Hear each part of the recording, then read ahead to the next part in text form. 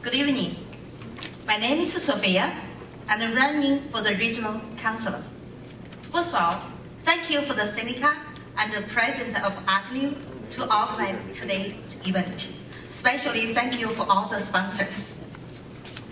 The challenge we are facing are traffic and transit, keeping tax law and improving our quality of life. As our population has grown, it has challenged our infrastructure and social service. I stand firm to keeping tax law and believe increasing city service and community resources. How? Traffic jam already cost for the GTA area for the 11 billion dollars last year. Include us, include Markham.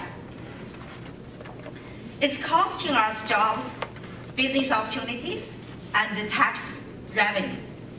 Markham needs better strategy for our traffic problem.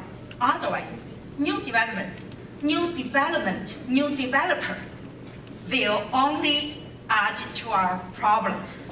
By alleviating traffic congestion, the city will cover tax revenue by increasing the jobs and business, such as the infrastructure needed to support the Seneca and York campus in Markham.